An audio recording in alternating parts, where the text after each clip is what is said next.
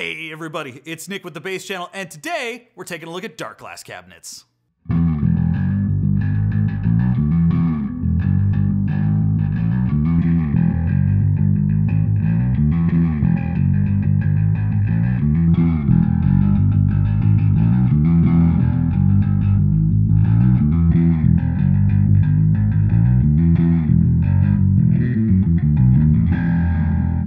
So, I have a couple different amplifiers I use. My main one is this big Ampeg SVT Classic, which I love. It's got a 410 cab. And then I have a Fender Rumble 500 as my like kind of smaller, more portable rig. But it's been really gigged and kind of beat up, and I'm looking for something to replace it. But the kicker is that I wanted to get something kind of nice, right? I've been playing for a long time, and I was looking for something that's of a similar size, maybe, but that still sounds really, really good. So today, we're taking a look at Darkglass.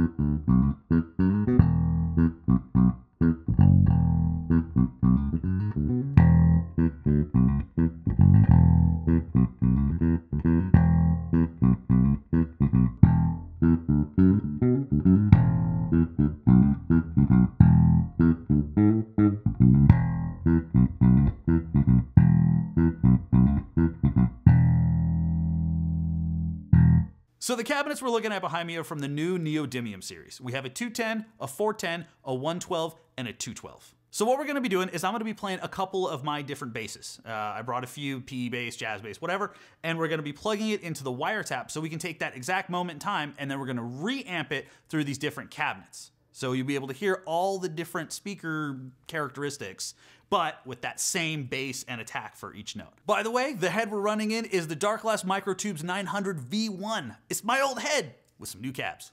We're using the Electro Voice RE20 to mic the cabinets for the up close, and then we're also using the Sennheiser MKH416 shotgun microphone for the room, set about six feet back. Which the Sennheiser is the one right there.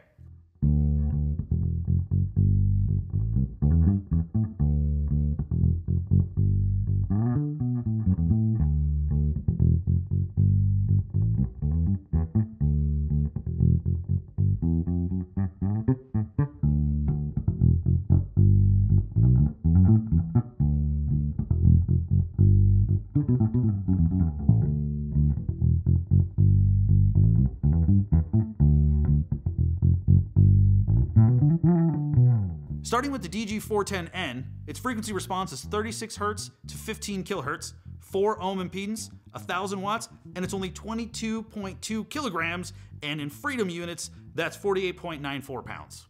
For the DG210N, it's got a frequency response of 43 Hz to 15 kHz, 8 ohms, 500 watts, and weighs 33.51 pounds. It's like 33 and a half. A 112 has a frequency response of 36 Hz to 15 kHz, 8 ohm impedance, 500 watts, and is about 27.6 pounds. The DG212N has a frequency response of 36 Hz to 15 kHz, 4 ohm impedance, 1000 watts, and it weighs 43.43 pounds according to tech specs. 4343, I like that.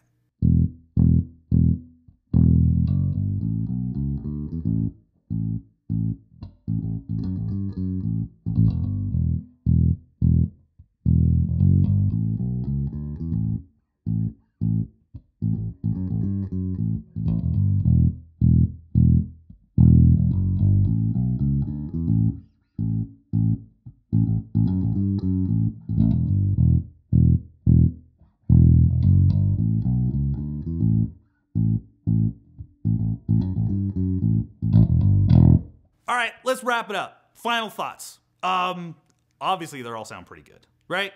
Um, uh, there were some that I definitely liked more than others. The 410 I thought was awesome. It pushed so much air. But truthfully, that's not really what I'm looking for for this application because I already have a 410. I'm leaning toward the 210 because that's the same size of what I have already for my little combo amp that really worked.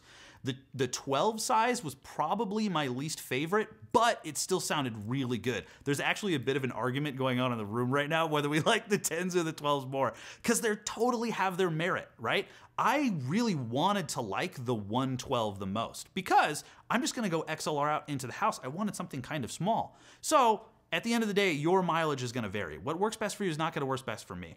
I liked the 210 the most for my application, but that definitely doesn't discredit the 212 or even the 112. Um, yeah. So again, your mileage may vary if you have the opportunity to play some of these. Otherwise, listen back to the video, try to figure out which one was your favorite. Um, anyway, long and short, I hope you guys liked the video. Um, awesome. I'm so stoked that I got this opportunity to do this. Um, I guess that brings it close. So thank you guys so much for watching. Hope you all have a good one, and we'll see you guys next time.